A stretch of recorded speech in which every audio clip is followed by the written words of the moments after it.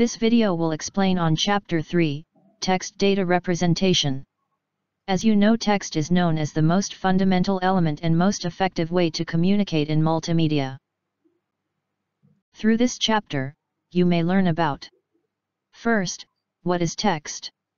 The meaning and the use of text. Second, text standardization and encoding.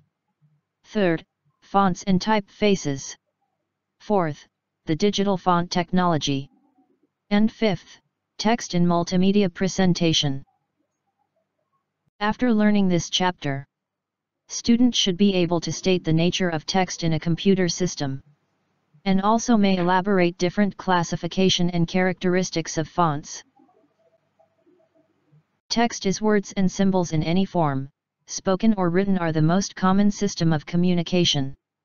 In order to communicate thoughts, ideas, and facts, we may use text in form of words, sentences, and paragraphs. It is also known as important element for multimedia menus, navigation systems, and content.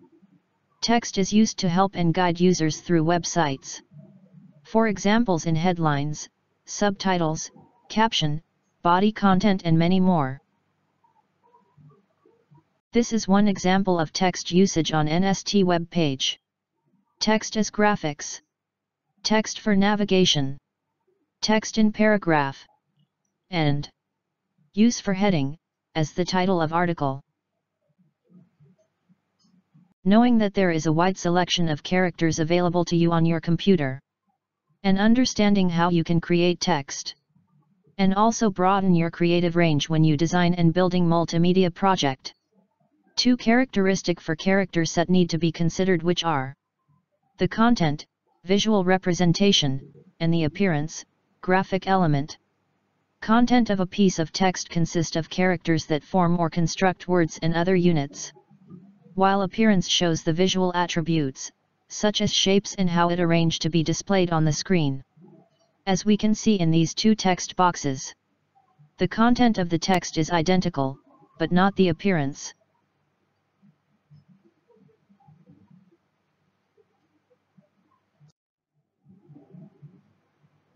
Text elements can be as follows. Letters of the alphabet, A to Z. Numbers, from 0 to 9. Punctuation marks, for example full stop, comma, semicolon, and etc. Special symbols like bracket, hashtag, percentage, and etc. This special symbols normally used to express the language in writing. Control characters, such as enter, space, Text may also include special icon or drawing symbols, math symbols, Greek letter, and so on. American Standard Code for Information Interchange or, ASCII code, is a character encoding scheme and it was the first character encoding standard. It converts information into standardized digital formats that allow computers to communicate with each other or with other electronic communication devices and to efficiently process and store data. It is a code for representing 128 English characters as numbers, numerical representations, with each letter assigned a number from 0 to 127. The code consists of lower and uppercase letters, punctuation marks, Arabic numbers, math symbols, and 33 control char, for device control, carriage return etc. ASCII uses 7 bits, 2 to the power of 7 equals 128 characters. A computer usually stores information in 8 bits. The 8th bit is unused in ASCII, thus is normally set to 0. For example in this ASCII table, M in uppercase is represent by ASCII code 77 in decimal. M in lowercase is represent by ASCII code 109. Character M in uppercase is represented by 100, 1101 in binary format, while M in lowercase is represented by 110, 1101. You may use this ASCII code chart, the quick ref card to define the binary format for each ASCII characters. For example ASCII code 77, is for M uppercase. And represent as 100, 1101, in binary format. The American National Standards Institute's or ANSI format is a Microsoft-related standard for character set encoding and a modification of the ASCII character set. ANSI format is known as a doubled modification of former ASCII. According to Information Processing Standard, ISO 8859, 8-bit single byte, coded graphics character set, includes, standard characters, symbols, and international diacritics character. ISO 8859-1, covers Western European languages. This encoding normally used while programming text of HTML pages. ANSI used for extended character, the 8-bit character sets. These character sets contain the unchanged ASCII character set, lower half, values 0 to 127. Upper half, 128 to 159, unused. End, 160 to 255, for accented letters and symbols. Extended ASCII can only represents up to 256 for different characters. The limitation on the number of character sets means representing character sets for several different language structures is not possible.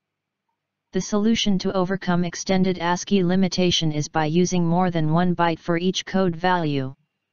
Therefore Unicode and ISO 10646, Universal Character Set UCS, were primarily invented to overcome this problem. Unicode can accommodate 16-bit character sets.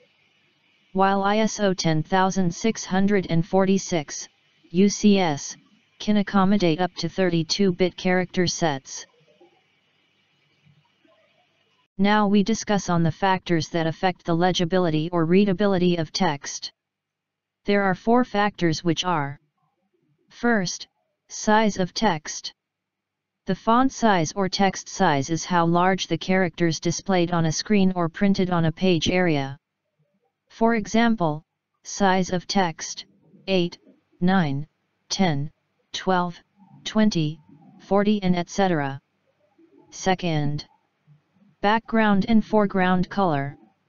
The color in which the text is written in or on.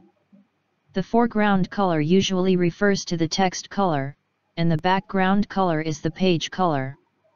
Contrast between the foreground and background is one of the most important factors for the ease of reading. Third, the font style. Known as typeface and font, for example Times New Roman, Arial, and etc and fourth. Leading. Amount of added space between lines of type. Or the space between adjacent lines of type. Font is known as collection of characters of a particular size and style, belonging to a particular typeface family. For example, Arial, Times New Roman, Franklin, and many more examples. Typeface is referring to family of graphic characters that usually includes many type sizes and styles that contains a series of fonts like Arial, Arial Black, Arial Narrow, Arial Unicode MS. And you may see many more sizes and styles of Arial family. The study of font and typefaces includes First, the font styles. For example, boldface, italic, underline, outline. Second, font sizes. Consist of point, kerning, and leading. Point is the font size. Kerning, spacing between character pairs. And leading, the spaces between lines. Thid, cases, uppercase, lowercase, intercap. Intercap is placing an uppercase letter in the middle of a word. And lastly, serif versus sans serif. Serif fonts have those decorative lines or tapers, also commonly referred to as tails or feet, while sans serif fonts don't. This is example of font effects. As you can see you may study the visual contrast of this e-story book. We need to consider the font, text block, the surrounding space, text color, and color contribution. All of these factors contribute to the ease of reading. Actual measured of the font size is the distance from top of capital letters to bottom of the descenders in letters, such as letter G and Y. Descenders means, part of a lowercase letter that goes below the body. Font size is measured in points. For example 1 point equals 0.0138 inch, approximately equal to 1 over 72 of an inch. Kerning and leading also play important role in font size. Kerning is the spacing between character pairs. While leading is space between lines. This is example of kerning, we may see the space between pair of characters. and as overlap for improvement of appearance. Left sample is unkerned, while on the right is kerned.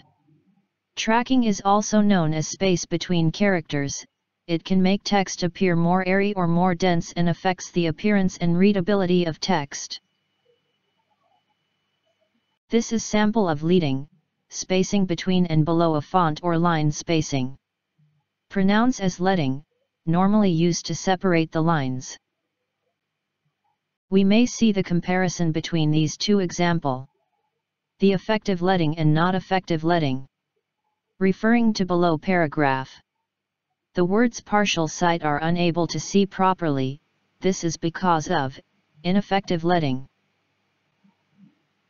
Font cases can be divided into capitalized letter or uppercase. The small letter or lowercase. And, intercap, placing an uppercase letter in the middle of a word.